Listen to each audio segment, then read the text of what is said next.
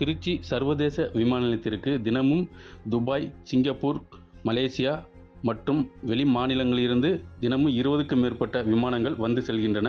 இந்த நிலையில் மலேசியா தலைநகர் கோலாலம்பூரிலிருந்து திருச்சி விமான நிலையத்திற்கு வந்த சந்தேகப்படும்படியான பயணிகளை வான் நுண்ணறிவு பிரிவு சுங்கத்துறை அதிகாரிகள் சோதனை செய்தபோது அப்போது பெண் பயணி ஒருவர் பேஸ்ட் வடிவில் நூதன முறையில் நாப்கினில் மறைத்து தங்கம் கடத்தி வந்தது தெரிய வந்ததை அடுத்து அவரை சோதனை செய்தபோது முப்பத்தி ஏழு புள்ளி ஐம்பத்தெட்டு லட்சம் மதிப்பிலான அறுநூத்தி பன்னெண்டு கிராம் தங்கத்தை பறிமுதல் செய்தனர்.